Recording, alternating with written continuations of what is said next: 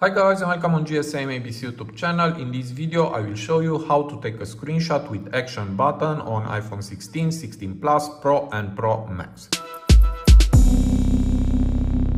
So here is my iPhone 16 uh, Pro Max and uh, to take a screenshot with uh, the action button first uh, you need to do some uh, settings.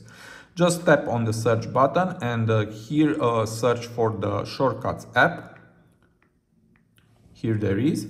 And uh, here tap on the plus sign and uh, search again for take screenshot.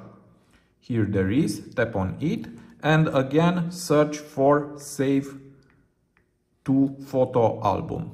Tap on it and uh, now just tap done and uh, you can exit.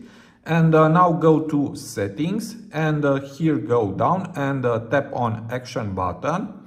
Now it's selected silent mode just swipe to the right and uh, here uh, select shortcut and uh, tap on choose a shortcut and uh, here choose save to photo album.